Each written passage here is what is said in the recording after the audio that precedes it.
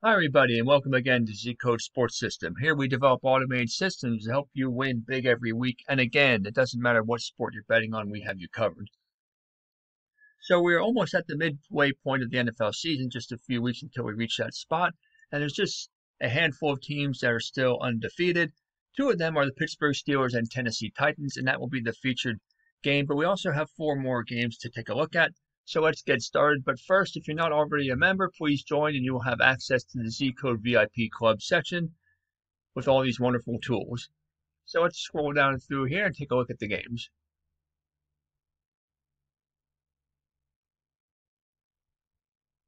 The Carolina Panthers and the New Orleans Saints, and that's one of the matchups we want to look at also. The Panthers and Saints both come in at three and three the game behind Tampa Bay in the NFC South. The Saints are a very large favorite, you see, at 1.3 to 3.660 odds with an over under of 51. You see, the Panthers right now have average down status and the Saints are burning hot. If you take a look at the power ranking indicator, you will see here that the Panthers are at plus 18 and the Saints are at plus 16 at the moment. If you Look at the head to head matchup between these two teams see last season the Saints won both games, and on the road they won by 32 points. If you're considering betting the over-under in this game, as we always are, take a look here. Panthers are playing in games trending over the line, and the Saints are playing in games well over the line, so expect a high-scoring game here. Betting the over is probably a wise choice. How stable have the two teams been? Meaning, how well have they been performing uh, considering their favorite underdog status, you see that the Panthers here are at minus two, so they are not performing consistently according to their favorite underdog status, whereas the Saints are. Let's take a look at what's happening with the line. Any kind of line movement here. You can see it opened at, there we go. You can see it opened at 1.3. That's currently at 1.3, even though we had a period here where it dropped some it's back up to where it was, so there's really no change in the line as we see at the moment. So really what's going to happen here, it's probably won't be that much of a game. I actually expected it to be a closer contest initially looking at, but right now I'm thinking that I expect the pattern to, to continue with the Saints winning easily over Carolina.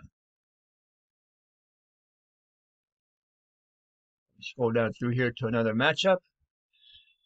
Uh, several games on, on tap you see here, but we're not going to talk about any of those. The next one here is the Green Bay Packers and the Houston Texans. The Packers are average status at the moment while the Texans are dead. You see that the uh, Packers have a 1.51 to 2.59 uh, odds favorite on the road with an over under of 55.5. The Packers are 4 and 1 for the season. They're coming off a blowout loss to the Buccaneers and the Texans are at 1 and 5.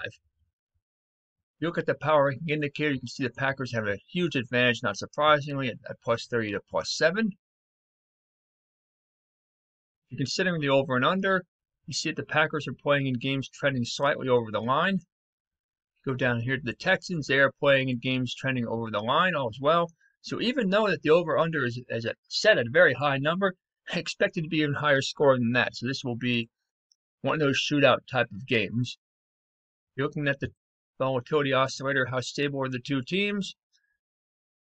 The Packers are actually not quite as stable. The Texans are more stable at four, but that just means that the Texans, who have been underdogs most of the season, have been losing. And they have, because they are only won one game this season. So what I think about the game, I don't think it will be close. The Packers have considerably more talent. They're playing much better, and they will win the ball game. Now the featured game, the Pittsburgh Steelers and the Tennessee Titans. You see that both teams are burning hot at the moment. Both teams enter at 5 and 0 on the season. You can see that the Steelers have a slight favorite on the road at 1.75 to 2.1 with an over under of 51.5. Look at the head to head matchup between the two teams. They have not played in a regular season game since 2017. The power rankings indicator, not surprisingly, the two teams are neck and neck. The Steelers at 29, the Titans at plus 28. Look at the totals predictor. You see that the Steelers are playing in games trending under the line, and the Titans are playing in games trending over the line. So it's probably best to avoid the over under in this one. Let's take a look here at the line, see if anything has happened in the line movement. You can see here, it opened up where? It opened up at 1.9. You can see now, the line is now at 1.7. So actually the Steelers are even more of a favorite now than they were before. So what does this all mean as far as playing it out, as far as the betting goes? I think that the Steelers will continue doing what they're doing, and they will come away with a victory. It will be a close game. It will be a very entertaining game. I think the Steelers win by a field goal. And we have a couple more that we want to look at. See a full slate of games for this week. Kansas City and Denver, that should be a good one. Here we go. San Francisco at New England. The 49ers have average status at the moment. New England has a dead status. Right now, the, the New England is 2 and 3, under 500 for the first time in seems like forever. And the 49ers are coming in at 3 and 3. The Patriots have a slight uh, odds favorite at 1.72 to 2.13 with an over under of 45.5. Take a look at the power ranking indicator. You can see both teams trending downward. Not a surprise. At plus 12 to plus 11 with a slight edge for New England. If you're considering the over and under, you see that 49ers are playing in games trending slightly over the line. New England also playing in games trending a little bit over the line. So betting the over is probably a pretty good choice in this one.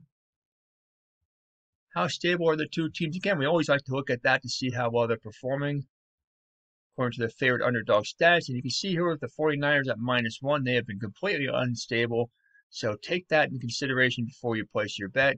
New England is, doing a good job as far as the, the favorite underdog status is concerned at plus two.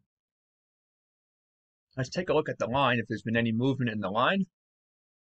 You see here with the weekly movement, we can see that the opening line was at 1.549. And right now it's at 1.719. So you can see here it's a little bit of a movement, uh, trending a little bit more towards who? Well, who was the favorite in this one? If you see who the favorite was in this one, we can explain what that means. You can see right now that New England was a favorite with 1.5. Now it's 1.7, so they're moving a little bit towards more thinking that the 49ers could win. But even so, I think that the Patriots will find a way to win. It's very difficult to envision them starting off at 2 and 4. I think they will have enough to get by the 49ers at home. The final game we're going to look at is the Tampa Bay Buccaneers and the Las Vegas Raiders. Tampa Bay is average up at the moment, and the Raiders are ice cold up. Tampa Bay coming off a huge 38 to 10 win over the Packers you look at the power ranking indicator, they're coming in at, whoop, look at this again, and they're coming at plus 17, and the Raiders are there at plus 10, so they have an edge there. If you're considering the over and under on this one, which by the way is set at 53.5, Tampa Bay is playing in games trending over the line. And as far as the Raiders go, they are playing in games trending a bit more under the line. So that probably negates each other. I would not bet the over under on this one. Are the teams playing consistently according to their favorite underdog status?